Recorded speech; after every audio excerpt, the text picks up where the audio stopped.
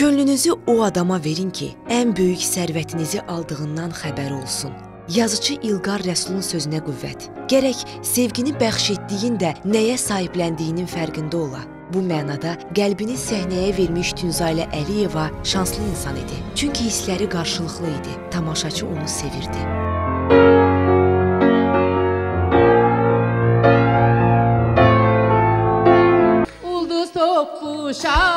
Aşık olmuş Ulduz topmuş aşık olmuş Səhne qoynunda qoynunda A qoynunda A qoynunda Dərdin alır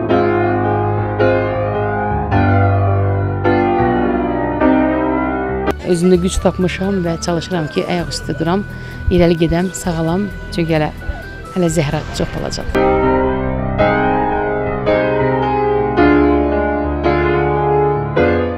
Rəngarəng obrazları, dəyişən mimikaları, maraqlı jestləri ilə diqqəti özünə cəlb etməyi bacaran istedadlı aktrisamız son nəfəsinədək bu məhəbbətə sadiq qaldı. Ən çətin anlarında belə səhnədən ayrılmadı, çünki o bu eşqin leylisi idi.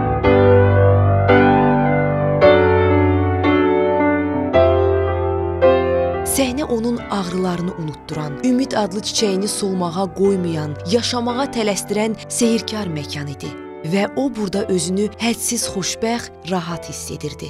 Sənət həm də səni incidən, ürəyini yaralayan, yollarını bağlayan gerçəklərin əlindən qoparıb ruhunu əsirlikdən azad edən fövqəlbəşəri gücə sahibdir. Bu ecazkar qüvvə onun xilaskarı idi həm də. Milyonların duası və alqışı yaşadırdı onu. Ruhdan düşməyə qoymurdu və daim mübarizəyə sövq edib daha yeni-yeni rollar haqqında düşünməyə, yaradıcı planlar cızmağa həvəsləndirirdi.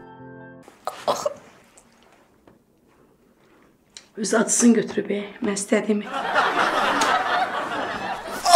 Allah səni öldürsün. Sahiden 3 saatdir bu bıçaq. Sən demə, üzümüzü güldürən adamın bir gün ağlatmağı da varmış və bu həyat adlı dərsliyin ən qəddar səhifəsi imiş.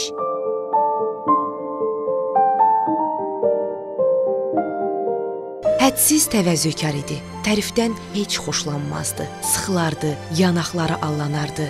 Fəqət əmin ol Tünzalə, biz bu gün səni tərif etmədik. Bil ki, günlərin birində əbədi yuxudan alqış səsinə səksənəcəksən qəfil.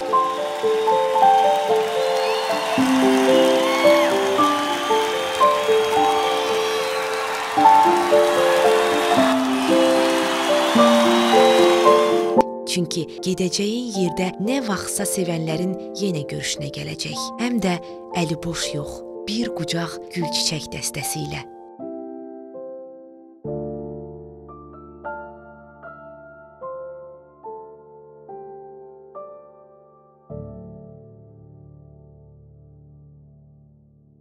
Çox qorxuram. Göz yaşımı silməyə bir adam yoxdur. Qışqırmaq istəyirəm. Qışqırmaq istəyirəm. Ağzımı ağzımı sıxacaq bir döşəkcə yoxdur. Niyə? Çünki mənim hıçqırığım onsuz da heç kim eşitmir. Tənhalıqdan qorxuram.